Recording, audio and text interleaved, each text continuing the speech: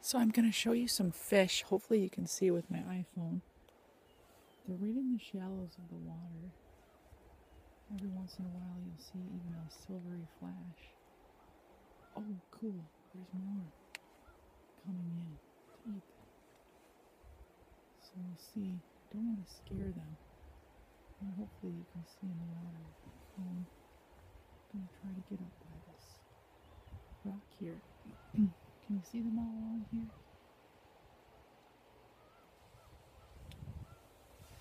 They're not scoping. They're not herring. They're not hooligan. They're not hooligan.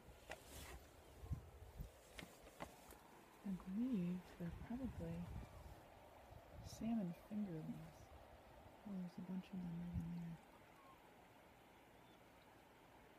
Oh, wow, they're swimming out in a huge, huge school. I'll pan back to the left because it seems like you can see them a little bit better in the water. I have polarized glasses on, so they're very vibrant. Hopefully you can see them too. So these feeder fish eat things like phytoplankton and zooplankton and the North Pacific Sea is the richest in the world. It's so full of life. Okay, here comes some of the fish back. I may have scared some. They're actually feeding. It's something a few of them are right on the surface. It's beautiful to see Mother Nature at work. There's a whole school right out here feeding back and forth. Oh great, they're coming in shallow.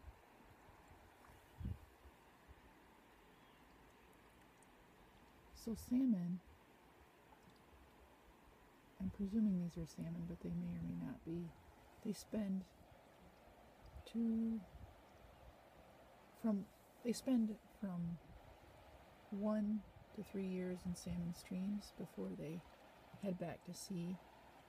The dog salmon, chum, or Keta salmon, which is all the same salmon, it heads directly back to sea after it's hatched. These may be darters, but I don't don't know for sure. Without dipping some in a net to see exactly what they are and wouldn't have a way to identify them with my expertise. Wow, here comes a whole school. Aren't they beautiful and alive? So as you can imagine, a lot of the other fishes that are bigger are feeding upon these, and so are Steller sea lions and dark harbor seals, Dall's porpoise, even whales, humpback whales, resident orcas, or killer whales. Just as far as I can see, there's fish. Oh, they're all coming into this little pocket here. So you might be able to see them swimming around the one rock. Ooh, here they come. They're scurrying quickly as if something's chasing them. So they have predators in the air and predators in the sea. Wow, so beautiful. So hopefully you can see that. The beautiful Chilkat Mountains in the background.